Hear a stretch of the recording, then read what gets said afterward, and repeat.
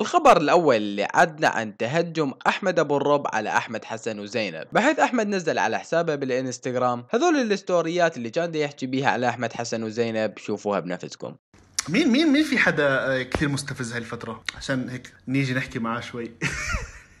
لأنه أحمد حسن صار بني آدم. الله أكبر. هسه جاي يصير بني آدم؟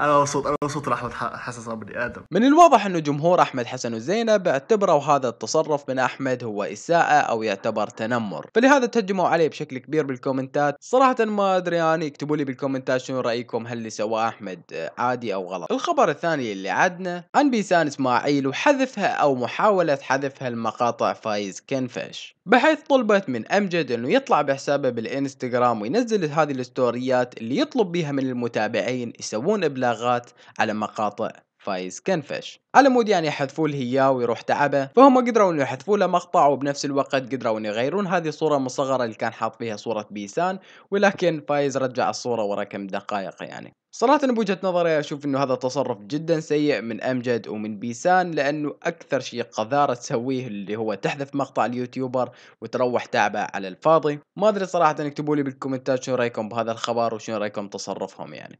الخبر الثالث اللي عدنا عن نور ستار وعن وقفتها ويا أهل بلدها بحيث نزلت بحسابها بالإنستغرام. هذه الصورة اللي كانت حاطة فيها رسمة على وجهها بعلم العراق وبنفس الوقت قايلة معلومات عن العراق بهذا ال post وصراحة تصرف جميل من نور ستار يعني. الخبر الرابع اللي عدنا عن بيسان إسماعيل وقصفها لمحمد جواني بحيث نزلت على حسابها بالإنستغرام هذا ال story اللي كانت كاتبة بيه حتى الكلب أوفى من بعض الذين مروا علينا في حياتنا بعض البشر لا يعرفون معنى الوفاء. مع انه واضحة صراحة منه تقصد بهذا ال story ولكن عندي شك إنه هي تقصد أنس الشايب خاصة إنه بآخر فترة حاس إنه أكو شيء بيناتهم صاير يعني. وبس والله لهنا وصلنا نهاية المقطع أتمنى المقطع عجبكم لا تحطوا like وتشتركوا بالقناة كان ياكم فايد زين من قناة مملكة القصص ومع السلامة.